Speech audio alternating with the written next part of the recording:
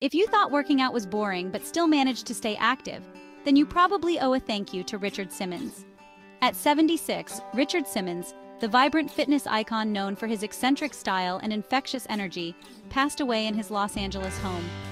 From the moment he stepped onto the scene in the 1970s, Simmons made it his mission to make exercise accessible and enjoyable for everyone. Simmons was more than just short shorts and tank tops. He was a beacon of body positivity and inclusivity in the fitness world. His journey began with his own struggles with weight and bullying, which fueled his passion to create a welcoming space for all body types. In 1974, he opened the Anatomy Asylum, later known as Slimmons, in Beverly Hills, where he inspired countless individuals to embrace movement and find joy in exercise. Despite facing some criticism, his impact on making fitness accessible to a wider audience is undeniable.